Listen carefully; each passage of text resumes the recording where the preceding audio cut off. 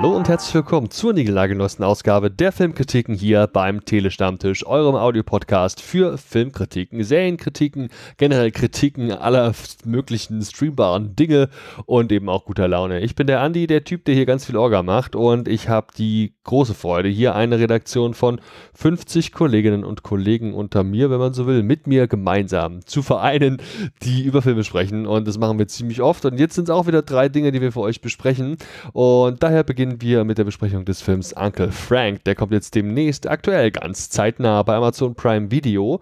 Und das ist ein Film, den wir vorab sichten konnten. Java und Kati sind es gewesen, die das getan haben und für euch eine ausgiebige Besprechung aufgezeichnet haben.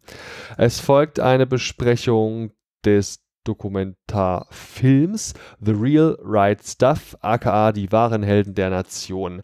Der läuft demnächst bei Disney Plus. Und der liebe Manuel hat das Ding vorab sehen können. Der Stu hat sich dann zu ihm gesellt und ihm dazu ein paar Fragen gestellt.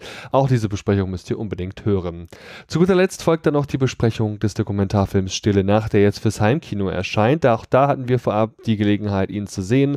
Sarah und Anna haben das getan und konnten etwas über diesen doch wirklich sehr bekannten Song Stille Nacht erfahren. Wir alle haben den sicherlich schon viele Male gesungen. Und jetzt gibt es diesen Dokumentarfilm, der bereits im Heimkino erschienen ist. Auch dabei wünsche ich euch viel Spaß. Jo Leute, lasst es mal krachen. Bis zum nächsten Mal. Ciao. Hallo alle miteinander. Wir sind heute hier für den Telestammtisch, um mit euch den Film Uncle Frank zu besprechen. Wir heißt, äh, ich bin Janine und auf der anderen Seite ist Kati. Ah, Hi, hallo. Und äh, ja, wir freuen uns sehr, ähm, euch heute diesen Film vorstellen zu können. Das war eine Augenweide, aber wir erzählen gleich mal mehr darüber. Kathi, willst du vielleicht mal die harten Facts erzählen? Ja, also, wie gesagt, der Film heißt Uncle Frank und er startet am 25.11. auf Amazon Prime. Er dauert ein bisschen mehr als eineinhalb Stunden, also circa 95 Minuten. Und Regisseur und Drehbuchautor ist Alan Ball. Alan Ball, genau. Und wer Alan Ball kennt, der weiß auch, dass er einen fantastischen Film, nicht nur einen, sondern mehrere gemacht hat, und zwar American Beauty. Das ist einer meiner Lieblingsfilme. Also er ist eigentlich bekannt auch für so gesellschaftskritische ähm, Filme. Und dieser Film ist, kann man sagen, ist so eine Art Road-Movie und Coming-out-Movie. Äh, und äh, spielt in den 60er, 60er Jahren in Amerika und hat äh, viele kleine Details, die äh, zu Überraschungen führen. Wie fandst du den dann, Kathi? Also mir sehr gut gefallen. Ich fand den, ich mochte die alle Charaktere eigentlich. Also irgendwie hat jeder das bei mir auslösen, auslösen sollte. Also ich vor allem, ich mochte die Beth, also die Hauptdarstellerin total. Die, die fand ich mega gut gespielt und auch mega sympathisch. Ich fand ihn vom Look her ziemlich ansprechend, auch ein bisschen so im Retro-Style, weil er halt auch in den 60er, 70er spielt. Also mir eigentlich ziemlich gut gefallen. Und äh, wie bist du denn in den Film reingekommen? Also, wie fängt der denn an, dass man da auch dran bleibt? Also, die erste Szene gleich ist so eine, also es ist so ein, ich glaube, es ist eine Geburtstagsfeier oder irgendeine Familienzusammenkunft. Und es ist so ein One-Shot durch dieses ganze Haus und man sieht halt so, wie äh, die verschiedenen Familien, also es ist halt eine bisschen größere Familie, ich glaube, es sind drei Geschwister und halt die Eltern und die Kinder und so. Und man sieht halt so, wie die alle irgendwie in Sachen nachgehen, halt die Frauen kochen irgendwie und die Männer sitzen dort vorm Fernseher und schauen Sport und die Kinder rennen halt durchs Haus und spielen. Und dann sieht man halt so ähm, die Beth, die nicht wirklich weiß, was sie mit sich anfangen soll, weil sie irgendwie nirgends dazugehört und dann halt ihren Onkel, den Frank, der halt auch irgendwie draußen in diesem Forum sitzt und sich auch nicht wirklich dazugehörig fühlt. Und so fängt er eigentlich an und das beschreibt schon am Anfang ziemlich gut, wie so die Verhältnisse sind und da will man dann eigentlich, also ich wollte nun mit mir erfahren, warum das so ist und wie das weitergeht. Ich weiß nicht, wie es dir gegangen ist. Ja, ich fand auch die erste Szene schon sehr catchy, sag ich mal. Also mir geht's genauso wie du, dass ich auch diese Ästhetik äh, sehr gut fand. Also man ähm, ist direkt in den 60ern angekommen, auch mit der Kleidung und äh, den Farben äh, des Filmes. Und diese erste Szene, ich finde, die ist schon erstmal so richtig äh, kritisch, weil es so eine klassische äh, Verteilung ist, ne? Die Männer schauen Fußball, die Frauen kochen genau. und da kriegt man ja schon gleich erstmal ein Magengrummeln, wenn man das sieht, so, ne? Und aber man ist dann auch sehr erfrischt und äh, oder freut sich geradezu, dass es da zwei Personen gibt, die sich damit nicht so identifizieren können, wie du es gerade beschrieben hast, ne? Die Beth und ähm, der Frank eben die sich nicht dazugehörig fühlen. Und man weiß nicht so richtig, warum eigentlich, ne? Und merkt aber, dass die sich zumindest finden, was dann, ähm, ja, wie ich gerade schon meinte, zu einer Erfrischung führt oder ähm, ja, man ist einfach ganz froh, dass es eben nicht komplett äh, durchstrukturiert äh, ist äh, nach den klassischen Mustern. Und wie fandst du denn dann diese Situation in New York? Ähm, also ein bisschen zum Einordnen, die Beth geht dann, also äh, ihr Onkel, der Frank, meint, sie soll das machen, auf was sie Bock hat und was ihr Spaß macht, deswegen geht sie dann irgendwas im Dorf dort raus und ähm, geht dann äh, nach New York an, ans College, glaube ich. Und ihr Onkel ist dort eben auch ähm, Professor. Und dort sind sie logisch in der gleichen, im gleichen College und so. Und dann kommt sie auf, mit ihrem Freund dort auf eine Party von ihrem Onkel eben unangekündigt und lernt dann halt seinen Mitbewohner kennen und das Leben von dem Onkel irgendwie. Und von dort entwickelt sich dann die, halt die Geschichte. Und das fand ich alles sehr interessant, auch wie dieses College und dann wie sie zum Onkel das alles dargestellt ist. Und ich weiß nicht, das war ich weiß nicht genau, wie ich das beschreiben soll, aber irgendwie der, der, Film hat mich von Anfang an gecatcht und das hat doch nicht, nicht losgelassen, obwohl das sehr ruhig und alles ist, auch die, also alles sehen auch so in New York und so, aber irgendwie war ja nicht langweilig oder so. Genau, mir ging das auch so und ich fand auch, man wurde immer wieder überrascht. Ne? Man weiß ja auch erstmal gar nicht, worum es geht, ne? Also um diese Coming-out-Geschichte äh, weil man ja eben auch Frank dann mit einer Frau sieht, äh, die dann Essen kochen für die Schwester oder auch der Freund von der Beth. Also, naja, gut, ich will jetzt auch nicht zu viel verraten. Ja, genau, das habe ich mir auch gedacht, ich will nicht zu viel sagen, weil genau. eigentlich sollte man nicht zu viel drüber wissen. Ja, genau. Auf jeden Fall, äh, es ist wirklich immer wieder überraschend und was ich halt so toll finde, ist, dass äh, dieser Film also verschiedene Themen äh, in sich trägt. Ne? Erstmal natürlich das Coming Out und dass es irgendwie nie zu spät ist, äh, das Coming Out sich zu trauen. Ähm, dass man schon auch vertrauen kann auf die Menschheit, dass äh, man auch akzeptiert wird und so weiter. Und dann aber auch der, es spielt ja ja noch ein Mann in diesem Film und der kommt eben aus Saudi-Arabien ne, und ist Moslem. Und wie das dann auch zum Thema gemacht wird, finde ich äh, total gut. Also es sind so viele Themen, die wir auch in unserer Gesellschaft heute, der spielt zwar in den 60ern, aber auch 2020 immer noch ähm, mit arbeiten oder was heißt arbeiten, aber immer noch ein Thema einfach ist, äh, weil wir uns damit auseinandersetzen müssen. Ne? Und das hat er eigentlich ziemlich gut gemacht. Finde ich auch. Und ich finde, er zeigt auch, was so, ähm, also es ist ja, glaube ich, aber mit Trailer sieht es nicht wirklich ein Geheimnis, dass dass, dass der Frank halt, also dass Franks Vater, also dass der halt einfach nicht akzeptiert wird, der Frank deswegen auch nicht will, dass seine Familie das weiß, dass er schwul ist. Und was es zeigt auch, was so Inakzeptanz mit Menschen machen kann, also wenn sie nicht einfach so akzeptiert werden, wie sie sind, ähm, wie das die Menschen und halt ihre Umgebung so zerstören kann. Ja, genau. Er will ja niemandem was Böses, also er will einfach nur akzeptiert werden, wie der ist. Und das ist halt für seinen Vater vor allem ein Problem und das zerstört halt die ganze Familie und so. Genau, und ähm, was ja auch zum, also da sind so viele Side-Themen, wie zum Beispiel auch Alkoholismus, wird ja irgendwie auch deutlich, dass er mal alkoholkrank war. Und es sind ja alles auch so Coping-Mechanismen, ne? Also da sind halt auch andere Sachen passiert, was im Film deutlich wird, äh, womit er nicht klar gekommen ist, weil er sich da, weil er da Schuldgefühle hatte und so weiter. Und dieser Freund von ihm, ihm da immer zur Seite gestanden hat. Also das, also es zeigt wirklich ganz schön, dass man wirklich auch äh, vertrauen kann, ne? also Liebe vertrauen kann, ähm, auch in, in sch schlechten Phasen. Also ja, vielleicht passt es auch genau richtig in diese Corona-Zeit rein, ne? dass wir soziale Wesen sind und dass wir einfach so eine eingebettet sein in so einen sozialen Kontext einfach auch brauchen, damit es uns gut geht. Ne?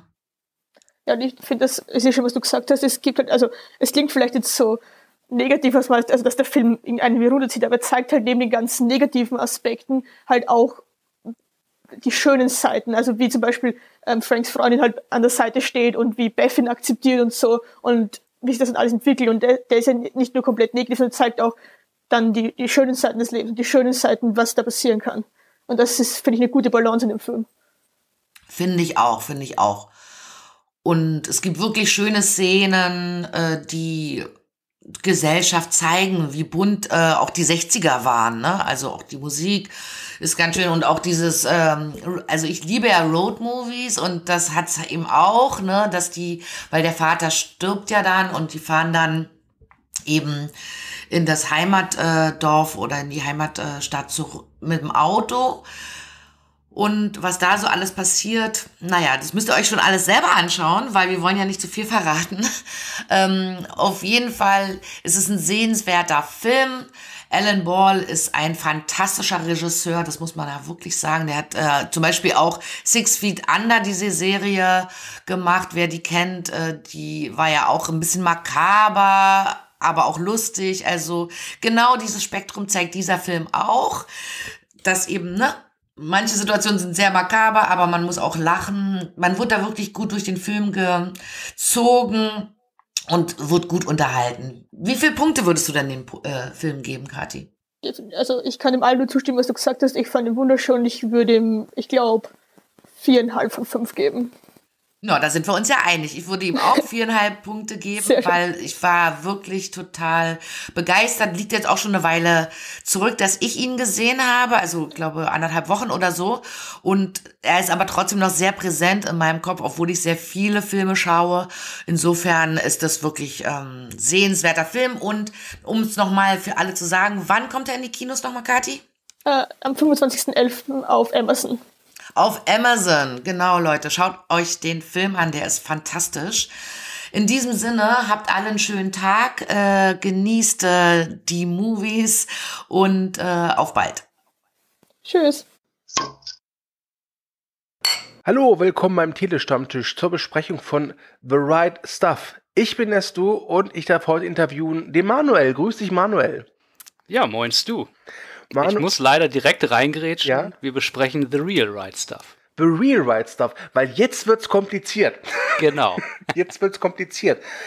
Ich versuche es mal zusammenzufassen und du kannst mich dann gerne danach berichtigen. Also, ja. es äh, gab 1983 einen Film, der heißt The Right Stuff. Im Deutschen hieß der Film Der Stoff, aus dem die Helden sind der wiederum auf einem Roman basiert von Tom Wolfe. Auf diesem Roman wiederum basierte auch die Disney Plus exklusive Serie The Right Stuff. Und über diese Serie, also über diese Serie, beziehungsweise über das, was die Serie erzählt, wurde jetzt von Disney auch noch eine Doku gemacht namens The Real Right Stuff. Korrekt. Wow. Jetzt muss ich mich mal selbst loben. Sehr gut gemacht. Ja, nee, dem habe ich erstmal nichts hinzuzufügen. Okay, ja, damit habe ich ja eigentlich, eigentlich fast dir schon vorweggenommen, dass du uns mal erklärst, worum es in der Serie geht. Aber trotzdem, worum geht es denn genauer in dieser, nicht Serie, sondern Doku? Genau, im Grunde geht es ja um die gleichen Sachen, von daher passt das ja. Und es geht in der Doku darum, dass begleitet wird mit Original, äh, Film und Audiomaterial, wie damals äh, in den 50ern, Anfang der 60er Jahre eben das Space Race quasi äh, vonstatten ging und die ersten Astronauten, die die Amerikaner ausbilden wollten und in, ins Weltall bringen, was in dem Fall hieß quasi, können wir vielleicht noch näher drauf eingehen, aber erstmal überhaupt quasi weit genug weg von der Erde kommen und dann einen Orbit machen und dann wieder runter, nix irgendwie fancy, äh, schon auf dem Mond landen. Und es geht quasi um das ja, Mercury 7 Programm, äh, was dann der Vorreiter von dem, was dann alle kennen, dem Apollo-Programm waren. Mhm. Und es gibt eben genau diese achtfolgige oder episodenlange äh, Serie, die auf Disney Plus erschienen ist im Oktober, die wir auch hier im Telestammtisch besprochen haben. Und jetzt mit, mit dem Final, mit der finalen Episode ist eben diese Doku rausgekommen, die dann das Ganze jetzt noch ein bisschen von der anderen Seite wahrscheinlich beleuchtet. Ich kann es nicht ganz genau sagen, weil ich die Disney Plus Serie nicht komplett gesehen habe, nur die ersten beiden Folgen. Okay. Es ist ja, finde ich, ein sehr spannendes Thema, weil diese, dieses Mercury 7 Programm ist, glaube ich, gestartet 1959. Und du hast es schon erwähnt, da war jetzt nichts groß mit wir besiedeln den Mond, sondern es ging ihm wirklich nur darum, komm, lass mal einmal kurz zu, in den Weltraum fliegen. Muss doch irgendwie zu schaffen sein. Ja. Ähm, dem geht ja auch irgendwie so diese, die Faszination des Weltraums mit einher. Schafft es die Dokum, ich will mal Serie sagen, schafft es die Dokumentation, äh, das zu transportieren? Deiner Meinung nach? Ähm, da, also ich würde sagen, ja. Das ist bei mir aber auch, glaube ich, einfach, weil ich auch einfach sehr, ja, ich finde es auch einfach ein ultra spannendes Thema und gucke mir gerne Filme, Serien, was auch immer dazu an äh, und bin da im Grunde schon vom Thema automatisch gehypt. Mhm. Ähm, da muss wahrscheinlich die Serie gar nicht mehr so viel tun. Aber was ich gut finde, ist auf jeden Fall, dass zum Beispiel wie gesagt, es ist eigentlich nur originale Filmmaterial, die gezeigt wird, das gezeigt wird. Und was sie ganz cool machen, ist, dass sie zum Beispiel als Erzählerstimme keinen eigenen Erzähler oder so haben, sondern immer wieder auf Audioschnipsel zurückgreifen, wie zum Beispiel auch von Tom Wolfe, der über äh, dann sein Buch im Grunde relativ viel erzählt oder die Recherche und da werden dann immer an passenden Stellen Schnipsel von ihm eingeschnitten oder von den Astronauten selber, die gerade sich mit jemandem unterhalten oder einen äh, Radio, ähm, eine Konvers Funkkonversation gerade vielleicht mit dem ähm, Kontrollzentrum haben oder sowas. Das wird immer zwischendrin eingespielt als ja, Erzählerstimme quasi. Und das finde ich hat einen eigentlich ganz gut äh, so eine immersive mhm. Erfahrung gegeben. Ja, das, weil nicht einfach so platt erzählt wurde im Grunde. Mhm. Das heißt, es gibt dann auch keine diese sogenannten Talking Heads, also dass da irgendwie ein alter Veteran vor der Kamera sitzt und dann erzählt, ja, damals hatten wir halt eben nur, was ich, sechs Eier im Raumanzug. Äh, relativ wenig, aber passiert auch. Also zum Beispiel Tom Wolf äh, wird öfter in der Serie benutzt, weil er da einfach das, ja, natürlich das Buch geschrieben hat und da super viel äh, an rotem Faden, denke ich mal, und Recherche reingesteckt hat, die wieder aufgegriffen wurden. Also passiert schon ein bisschen, aber nicht, äh, nicht so viel tatsächlich. Mhm. Genau. Jetzt, ich habe es nicht gesehen, aber ich nehme mal stark an, dass sie schon einen, ich nenne es mal, narrativen roten Faden haben, der damit äh, endet, dass dann zum Schluss eben das, äh, diese Mission erfolgreich ausgeführt wird. Ist dem so? Oder Im die Grund ist, ja, der rote Faden ist relativ simpel, würde ich sagen, der einfach, also einfach in Anführungszeichen, aber chronologisch mit Beginn. Im Grunde fängt alles an als äh, Einsteigs, äh, Szene zum Einstieg, so wie Sputnik, ähm, der Satellit damals von der Sowjetunion ins All geschickt wird. Das war 57. Und dann quasi das Space Race zwischen den USA und den, äh, der Sowjetunion eben eröffnet wird. Und dann wird sich so ja, dran langgehangelt, erstmal das Auswahlverfahren so ein bisschen beleuchtet, ähm, aber bei weitem nicht so viel wie in der Serie tatsächlich, die natürlich auch ähm, viel mehr Zeit hat. Ähm, dann wird auf die, so ein bisschen auf die mediale Ebene eingegangen, weil die Astronauten im Grunde auch die ersten ja, super bekannten äh, Helden sind, die so krass in einem Rampenlicht stehen, dass die Familien dadurch natürlich auch total ähm, beeinflusst sind und äh, sehr viel ähm, Privatsphäre verlieren. Äh, da wird auch so ein bisschen drauf eingegangen. Das ist auch ein sehr großer Punkt in der Serie zum Beispiel. Und dann geht es relativ viel darum, okay, was ist jetzt eigentlich, äh, was wollen wir jetzt eigentlich machen? So, und dann wird irgendwann geht's mehr so auf die technische Seite, was ich ganz gut finde eigentlich. Man erfährt gar nicht unbedingt so viel über die Person an sich. Das ist, glaube ich, der Serie überlassen, was mir ganz gut gefällt. Und dann wird eben gezeigt, okay, jetzt schicken wir erstmal einen Affen ins Weltall. Jetzt äh, versuchen wir quasi aufzuholen, was die ähm, Sowjets bereits geschafft haben. Dann wird gezeigt, wie sie Juri Gagarin in den Weltraum schießen. Oder in den Weltraum schießen klingt jetzt ein bisschen. Mach's gut, aber ne, erfolgreich auch wieder zurückbringen. Und hangeln sich dann im Grunde an den einzelnen Etappen der Mission. Das sind ja dann fünf verschiedene Missionen oder so äh, dran lang, dass eben erstmal jemand einfach nur nach oben geschießt, geschossen wird und wieder runter. Der fällt quasi nur ein paar Kilometer ähm, äh, quasi im, im, ist in keinem Erdorbit, so meine ich.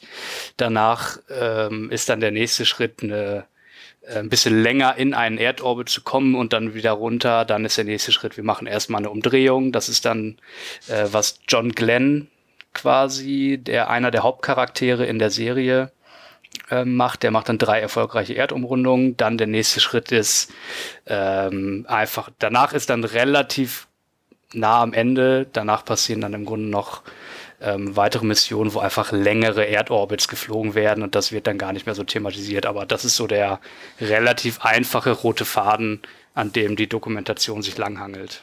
Wird es denn the wenigstens thematisiert, wie absolut unglaublich das war? Denn wir reden halt hier von 1959 bis, ja, ich sag mal, früh 60er Jahre. Ich meine, heutzutage mit unserem Ja. heutigen technischen Stand ist das, glaube ich, immer noch nicht so einfach, aber ich meine, ich habe irgendwann mal gelesen, dass man mit der Technik, die in einem iPhone verbaut ist, mittlerweile zum Mond fliegen könnte. Ja, also mit einem, also die Technik, die bei der Mondlandung ben- benutzt wird, ist in einem Taschenrechner von vor 20 Jahren. So, ne? Also ein iPhone ist schon natürlich komplett überpowered und kann schon viel mehr. Aber das, der Punkt kommt auf jeden Fall nicht rüber. Da würde ich sagen, äh, das ist vielleicht schwierig möglich mit nur Originalmaterial und wenig so Interviews und so weiter. Da ist eigentlich der Fokus nicht so drauf und das würde ich sagen, kann man so technisch geht's, darum geht's dann in dem Fall nicht. Also das würde ich sagen, wird nicht transportiert. Nee. Das ist schwer dann wahrscheinlich nachzuvollziehen, wenn man nicht vielleicht selber schon ein bisschen was zu dem Thema sich angelesen oder angeschaut hat. Meine Frage für unsere äh, auch technikaffinen Filmfans oder Serienfans, aber mehr so diese, ja, die 4K-Nazis, wie ich es immer gerne nenne. ja? Ja. Jetzt hast du ja gesagt, dass der Film, so habe ich es verstanden, zu weites, weitestgehend halt Originalmaterial benutzt. Jetzt muss man halt wissen, dass 1959 äh, es noch keine, noch kein HD und 4K gab. Ähm, haben Sie dieses Material irgendwie aufpoliert oder schmelzen jetzt äh, 16K-Enthusiasten die Augen, wenn sie das gucken? Äh, nee, würde ich nicht sagen. Also ich guck's auf einem ähm, großen äh, Beamer zu Hause. Ähm, kein 4K, aber Full HD und ich, also natürlich sieht man, wenn da älteres Filmmaterial über einen Bildschirm läuft, aber äh, nie störend. Also das ist jetzt nicht so, als würde das irgendwie äh, scheiße aussehen. Das ist schon gut aufbereitet und ich denke, man kann ja auch viel machen, solange alles, was analog ist, kann man natürlich, also hat unbegrenzte Auflösung. Das kannst du natürlich super gut äh, digitalisieren, wenn man es einfach wieder macht. Und ich glaube, das äh, wurde schon getan für die Doku. Also man, das sieht schon ziemlich gut aus. Da kann man sich nicht beschweren. Wie lange geht die Doku eigentlich? Ja, gute Frage. Ich finde überall, ich finde überall, dass es zwei Stunden lang geht. Ich meine aber, es wären nur 90 Minuten. Äh, also irgendwas dazwischen auf jeden Fall. Um, um den Dreh. Also es ist relativ flott, muss ich sagen. Also hattest du jetzt nicht das Gefühl, dass da irgendwie Längen drin waren? Äh, nee, auf keinen Fall. Nee. Fand ich ging relativ zügig rum die Zeit. Ähm, wir haben, glaube ich, noch gar nicht erwähnt, die gibt's nur bei Disney Plus, ne? Genau. Okay, gut. Ah, ja, ich denke schon. Vielleicht wird sie irgendwas, sie ist produziert wie die Serie auch schon von äh, National Geographic. Ich weiß nicht, ob die vielleicht irgendwo noch mal selber dann später was nee, die gehören auch mittlerweile zu Disney. Ah, ja, da- dann nicht. Nee. Okay, gut. Ich wäre durch mit meinen Fragen. Das erlaubt mir jetzt, dir die Möglichkeit zu geben, noch alles loszuwerden, was du über die Doku sagen möchtest. Ja, ich habe noch eine Sache, was ich ganz interessant fand. Äh, der Score ist von äh, Hans Zimmer tatsächlich. Äh, ich muss sagen, er ist mir nicht irgendwie, ich habe das im Nachhinein gelesen, er ist mir nicht positiv oder negativ aufgefallen. Ist halt eine Doku. äh, ähm, von, also würde ich jetzt, ich hätte jetzt wahrscheinlich erkannt, wenn es Hans Zimmer ist, wenn ich drauf geachtet hätte. Ähm, aber was ich interessant fand, war, dass die Doku ist ja nicht alt, die ist ja dieses Jahr produziert und die äh, Musik wurde dann halt aufgenommen von einem großen Orchester. Und in Zeiten von Corona ist das nicht so trivial. Und weil so ein Orchester eben 44 Leute beinhaltet in dem Fall. Und tatsächlich haben die das alle einzeln zu Hause aufgenommen, ihre Spuren. Und das wurde dann hinterher zusammengemixt. fand ich äh, interessant. Also hat jetzt nichts mit der Qualität der Doku zu tun, mhm. aber fand ich auf jeden Fall eine, einfach eine nette Information, wie man halt kreativ werden kann und solche Sachen halt lösen kann und es trotzdem halt zumindest für meine Ohren nicht an Qualität gemangelt hat. Ne? Ich glaube, diese Art der äh, musikalischen Aufzeichnung äh, gab es, glaube ich, schon, äh, schon ein paar Mal. Ich meine ja, auch, was man bestimmt ja. haben. Aber es ist schon ja. irre, wenn man sich das mal bewusst macht, das stimmt, ja.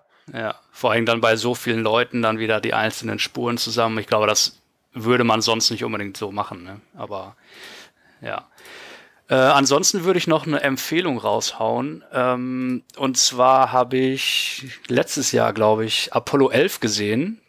Nicht den Spielfilm, sondern den Dokumentarfilm. Und weil du schon über 4K-Nazis geredet hast, ja. der Film ist auch von, ich weiß, hast du den gesehen? Äh, ja, aber nur in HD. Ich, ich ärgere okay, mich aber, heute, dass ich den ja. nicht im Kino sehen konnte. Okay, ja.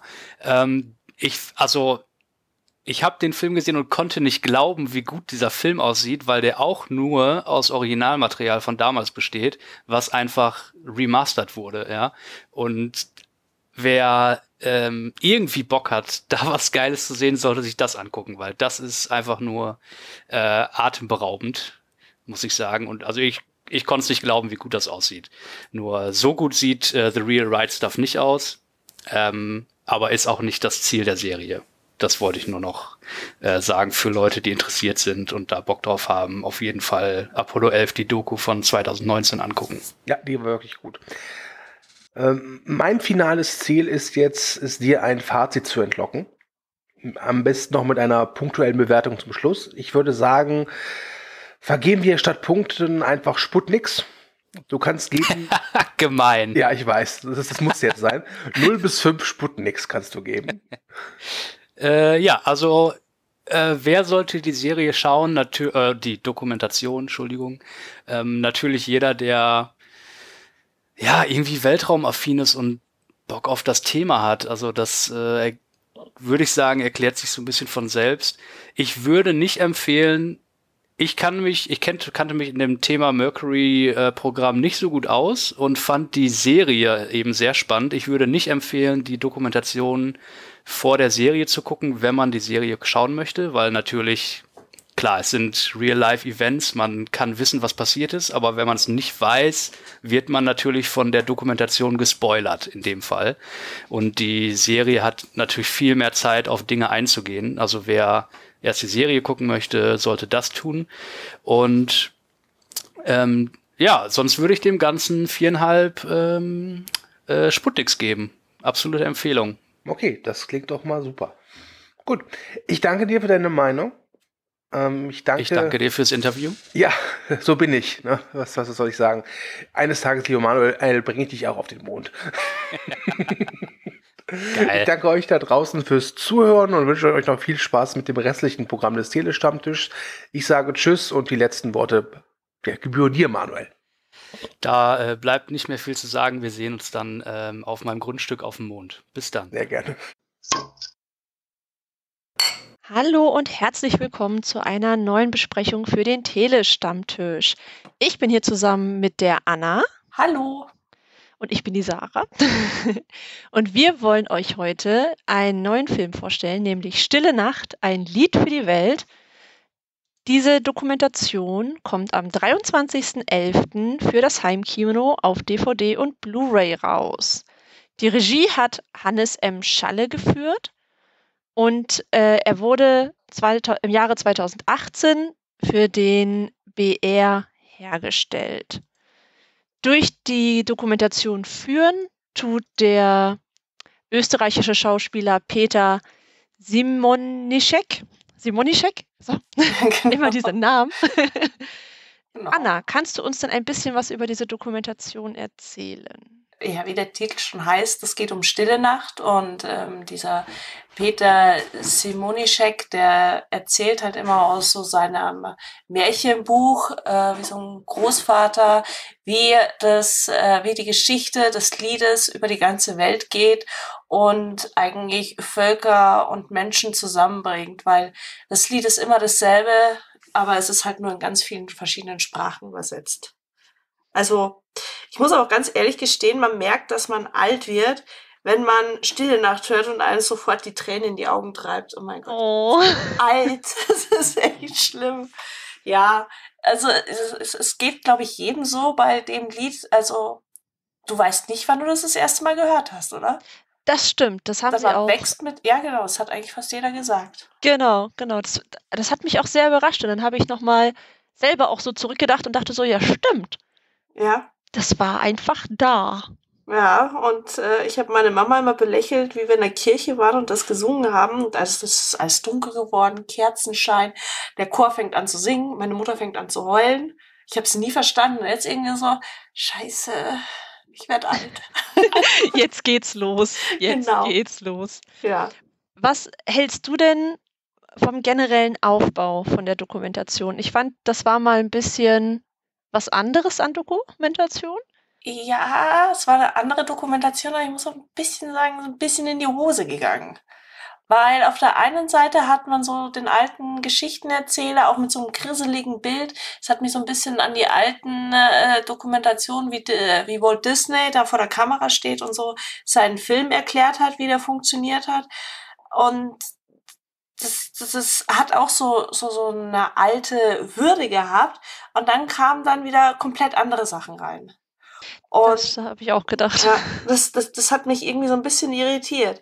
Und ähm, es ist, war spannend, wie viele Leute das einfach äh, gesungen haben. Ich glaube, ähm, Stille Nacht ist in mehr als 300 Sprachen übersetzt worden, wobei auch viele Dialekte dabei sind. Die, da weiß man halt nicht genau, ob das wirklich Sprachen oder nur Dialekte sind. Ähm, manchmal fand ich es ein bisschen zu kitschig.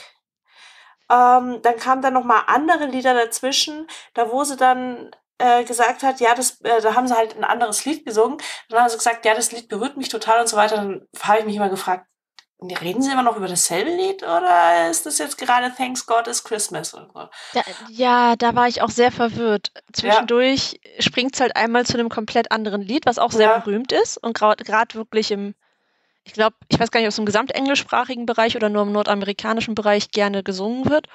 Aber es hatte nichts mehr mit Stille Nacht zu tun plötzlich. Ja, Aber alle noch herzergriffen und dieses wunderschöne Lied. Ich habe ja. gedacht, so bin ich gerade aus der Doku gefallen? Ja, schon. Und dann haben sie zwischendrin, das hat mich, glaube ich, am meisten genervt. Da waren diese, wir hatten in unserer Vorstellung, die wir uns angeguckt haben, leider keine Bauchbinden. Deswegen weiß ich leider nicht, wer die drei waren. Die haben dann ein anderes Weihnachtslied äh, gespielt. Sehr herzergreifend. Das hat mich so ein bisschen an die Werbung von Santiago oder Flippers erinnert, wo ich mir gedacht habe, jetzt kommt dann gleich aufgeploppt, jetzt kaufen sie die CD, bla bla bla, zu ihrem Weihnachtsfest. Ne? Ah, Ja, das hätte auch echt eine Werbeunterbrechung sein können. das stimmt, ja. Das ist so kurze Pause für Ja, unsere genau. Sponsoren. genau. Ich muss auch zugeben, ich fand für mich persönlich den Anfang und das Ende noch fast mit am interessantesten, weil dort Ja. wirklich Hintergrundgeschichte erzählt wurde zum Das Lied stimmt. ähm, und auch richtig schön dargestellt wurde. Also da wurden halt Schauspieler auch hergenommen Mhm. und Ja. haben das nachgespielt. Das fand Genau. ich sehr schön. Am Anfang war ja die Entstehungsgeschichte. Da war ja eine ganz, ganz große Hungersnot in Salzburg. Und das Schöne an äh, Stille Nacht und Heilige Nacht ist eines der wenigen Lieder, die nicht in Latein gemacht worden sind, weil das zeigt schon, dass es nicht für die Gebildeten sind, die Latein können, sondern es ist ein Lied für alle, fürs gesamte Volk. Und Mhm. ähm, es hat mich schon sehr berührt. Äh, und dann hat man halt am Schluss war dann das Ding mit dem Ersten Weltkrieg, da wo, das war 1915, glaube ich, 14, 1914 im 1914. Schützengraben. im Schützengraben, genau. Und dann haben halt die Engländer angefangen zu singen und die Deutschen angefangen zu singen und am nächsten Tag haben sie sich alle getroffen. Und ähm, das war schon sehr berührend. Und dann hat dieser Hauptmann gesagt, er darf sowas nie wieder zulassen. Es ist Ja, zwar leider. ja, das, das, das fand ich dann auch schon sehr, sehr traurig, weil im, man darf im Krieg niemanden als Mensch sehen, sondern immer als Gegner. Und das hat, ja, das war schon sehr ernüchternd danach. Wobei ich es da auch sehr schön fand, dass man gesehen hat, dass dieser General oder Kommandant, wer auch immer er war, Ja, der fand das selber nicht toll. Der hätte das gerne nochmal gemacht. Ja. Ähm, und das ist ja auch eines der größten, großen Wunder aus dem Ersten Weltkrieg, Ja. dass da äh, diese unangekündigte Friedensabsprache äh, war. Ja. Was ja auch das Besondere war, es wurde ja nicht sofort erkannt. Am Anfang haben die Engländer gedacht, das ist jetzt der Angriff, Das ist eine Täuschung. ist genau, ist eine List, äh, eine Täuschung und dann geht der Krieg wirklich los. An diesem Tag in diesem Schützengraben. Und erst durch das Lied haben sie halt verstanden, okay, die feiern Weihnachten und das können wir mitfeiern. Das Mhm. fand ich sehr berührend. Das finde ich aber auch jedes Mal berührend, wenn ich diese Geschichte höre. Ja, das stimmt. Und überhaupt, das, es, es geht halt einfach darum, dass dieses Lied eigentlich zeitlos ist. Ich glaube, das ist das berühmteste und zeitloseste Lied für Weihnachten, also überhaupt. Ich kenne sonst Ja, kein es- anderes Lied. Es kann echt jeder mitsingen auch einfach. Ja, gut. Und das fand ich eigentlich gut, dass, schön, wie das in der Doku rausgekommen ist. Was mich ein bisschen genervt hat, das war so ein bisschen, ja, der eine hat das ein bisschen mit Queen verglichen, das fand ich ein bisschen unpassend. Ja, Und ähm, ich war ein manche- bisschen Werbung für junge Sängerinnen. So. Ja, und ich fand manche dieser Interpretation arg, ähm, ja, wie sagt man das am besten, arg theatralisch. Ja, kitschig, theatralisch. Ja, Also es ist ein wunderschönes Lied, keine Frage. Ich find, bin persönlich der Meinung, es klingt am schönsten in einem Kirchenchor, einfach Mhm. durch den Hall und durch den Raum und durch Ja. die Leute, die es singen. Aber dann kommen halt diese Popsternchen, ich weiß was genau, was du Ja. meinst, und diese Popsternchen. Oh ja, Und dann ich so, oh, irgendwie so fünf Tonsprünge in einer Sekunde und denke so, äh, nee, Leute, hat eigentlich nur einen Sprung dort. Gut, jetzt muss ich auch nicht mehr heulen, danke. Ja, genau. Also, ich fand es sehr schön, das Lied mal auf anderen Sprachen zu hören, Mhm. mit den anderen Interpretationen dazu, aber manche davon waren einfach, also wie du schon gesagt hast, dadurch, dass man auch nicht wusste, wer es ist, durch die fehlenden Bauchbinden, saß man da so, du bist jetzt eine nette junge Dame, die mir etwas vorsingt. Ja. Soll mir das etwas sagen? ja, sie findet es halt einfach auch schön, dass in ihrer, ich glaube, die hat Arabisch gesungen. Ich glaube, die eine hat Hebräisch gesungen. Oder Hebräisch. Oh. Genau, und dann einmal auf Spanisch, Englisch, Deutsch und einmal auf Thailändisch, glaube ich. Ich glaube, das war einmal Thai. Ja, das ist ja auch so ein Bruchteil von den Sprachen, äh, in denen es eigentlich gesungen wird. Genau, aber eine schöne Auswahl, so ein bisschen, Mhm. vielleicht noch was Afrikanisches. Dann hätte man jeden Kontinent so. Ja, genau. Gibt's bestimmt auch. Ja, Äh, aber grundsätzlich ist es eine Doku, die kann man sich gerne mal anschauen, wenn man sie durchzappt. ja. Also, Ja. wann, was würdest du denn sagen, für wen wäre das denn eine Doku? Mm. Eigentlich für jeden, der sich, eig- eigentlich ist es so eine Familiendoku. Da gibt es jetzt eigentlich keine Altersbeschränkung. Stimmt, Ähm, ja, die FSK ist auch null. Ja, der FSK ist ja null, aber äh, trotzdem, eigentlich ist es für jeden was. Es sind ja eigentlich auch so Popsternchen mit dabei. Vielleicht könnte dann die jüngere Generation, die ein bisschen was mit diesen, äh, mit dieser Stimmgewalt ein bisschen mehr anfangen. Und dann gibt's Kirchenchöre, da können dann die Älteren wieder was damit anfangen. Eigentlich ist es für die ganze Familie was dabei. Also ich würde es da jetzt auch gar nicht beschränken auf irgendjemanden. Das würde ich auch so mit unterschreiben. Ich würde es nur zeitlich begrenzen, weil ich glaube, das ist ein Film oder eine Dokumentation, die guckst du nicht gut im Juni am Strand. Ja, stimmt. Das ist ein rein, reines Weihnachtsding. Ja. Also es kommt super raus. Ja. 23. November ist ein super Datum. Da kann man sich das holen, gemütlich zum Adventssonntag, Ja, auf die Couch setzen mit der Familie, heiße Schokolade, Plätzchen. heißen Tee, Genau. Plätzchen, genau. Und dann, also es ist dann auch kurzweilig. Ich hatte jetzt nicht das Gefühl, dass sich diese Dokumentation ewiglich, ewig zieht oder so. nö, das ging eigentlich recht schön durch. Aber es ist jetzt auch, Musik. Es ist jetzt aber auch nicht so eine Doku, bis auf die erste, die ist ja schon mal verfilmt worden, die erste Geschichte, Stille Nacht, äh, als richtiger deutscher Spielfilm. Oh, und, und die letzte Story, die ist hängen geblieben, aber die ganzen Sternchen und ähm, die erzählt haben, wie sie halt einfach groß geworden sind mit dem Lied. Pff, ja. Ja, ich glaube, da muss man einfach Fan von den einzelnen Leuten sein. Ja. Also bitte haut uns nicht, wenn ihr die Leute alle kennt. Sagt, die sind doch voll berühmt, die brauchen keine Bauchbinden. Das, die muss man kennen. Ich habe ein, zwei Leute, glaube ich, erkannt, aber beim Rest dachte ich mir so, okay, Ja. äh, die gibt's auch. Die können gut singen alle, muss man sagen. Keiner Ja, singt da schlecht. Das stimmt. Gut. Dann würde ich sagen, ja, hast du noch Sterne müssen wir noch verteilen. Genau. Ich ähm, würde sogar einfach Sterne vergeben, weil äh, es ist ja eine stille Nacht. Vielleicht ein Nachthimmel. Ähm, was, wie viele Sterne würdest du denn vergeben? Ich würde drei vergeben. War keine schlechte Doku. Sie war mir ein bisschen zu sehr zusammengestuckselt. Aber ja, äh, sie war in Ordnung und schaubar. Und hat auch ein bisschen Spaß gemacht. Ah, da würde ich sogar noch einen halben Punkt abziehen. Okay. Ich, ich würde 2,5 geben, aber aus dem einfachen Grund, dass ich glaube ich noch nicht genug in der Weihnachtsstimmung dafür bin. Die ist eine gute Doku, macht hat auch Spaß gemacht, sie anzugucken. Sie war mir ein bisschen zu zerstückelt. Also ich hatte, wie, wie wir vorhin gesagt hatten, das Gefühl, irgendwie zwischendurch hat es mal das Thema gewechselt. Ja. Ähm, und der interessanteste Teil war für mich wirklich der Anfang und das Ende, weil Ja, das da einfach ein bisschen ins Geschichtenerzählen ging. Mhm. Ähm, ja, gut. Willst du noch irgendetwas zu der Dokumentation sagen? Oder Nö. zu den Zuhörern? Schaut es euch an, bildet euch eu- eure eigene Meinung und wahrscheinlich habt ihr sogar Bauchbinden bei der Doku.